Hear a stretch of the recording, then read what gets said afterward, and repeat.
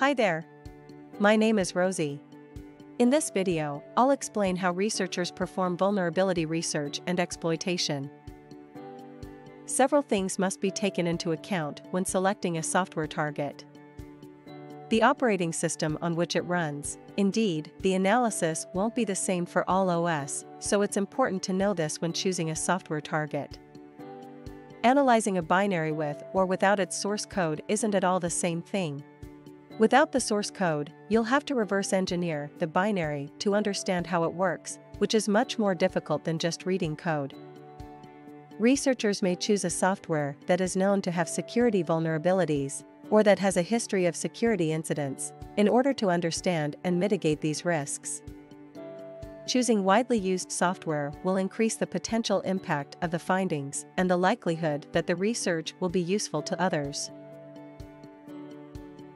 Several techniques can be used to understand how a software works. Researchers can study the software's design and implementation through its documentation, user manuals, and by reviewing its source code. This helps researchers understand the intended behavior of the software as well as its underlying structure and components. When you don't have any source code, you can use reverse engineering techniques to analyze the software's binary code and understand its internal workings. This process can involve disassembling the code, analyzing it in a debugger, and creating visual representations of the software's flow and data structures. You can also use dynamic analysis tools and techniques to observe the software's behavior while it's running.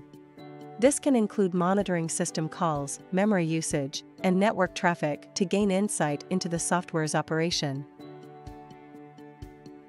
Researchers research the attack surface of a software system to identify the various ways in which an attacker could potentially exploit the system. They look for areas where the software does not properly validate, sanitize, or filter user inputs, which can lead to security issues such as buffer overflows, code execution, or information disclosure. Threat modeling is a structured approach to understanding and analyzing potential security threats to a system. The goal of threat modeling is to identify potential vulnerabilities and risks in the system and to prioritize and address those risks. Overall, the attack surface is everything that modifies the behavior of a program and that might be exploited by an attacker. Identifying vulnerabilities can be done in several ways. Researchers can analyze the source code of a software application to identify potential vulnerabilities and security issues. This can be done using automated tools or manual code review. Code analysis can help researchers identify issues such as buffer overflows, SQL injections, and other types of vulnerabilities. Performing penetration testing on the software application can help to identify vulnerabilities that might not be apparent from code analysis alone. Fuzzing is a technique used to identify vulnerabilities by providing large amounts of random or semi-random data as inputs to a program. The goal of fuzzing is to uncover any unexpected behaviors, crashes, or security vulnerabilities that may occur when the program is exposed to unexpected inputs. Researchers may also disassemble binary code to analyze the structure and behavior of the software system and identify any potential attack scenarios. Several steps are required to develop working exploits. Researchers first need to understand the vulnerability and its impact on the system. They must analyze the code and understand how the vulnerability can be exploited.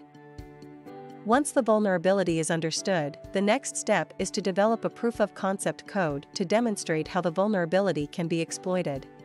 This involves writing code that takes advantage of the vulnerability to cause a specific result.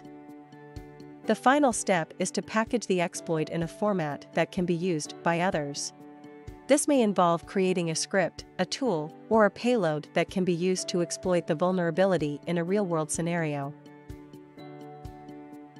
The ultimate goal of integrating exploits into an offensive security framework is to make it easier for researchers to execute complex attacks, automate the exploitation process, and increase the success rate of the attacks. First of all, researchers need to choose a framework that meets their requirements and provides the necessary features for the exploit to be integrated effectively.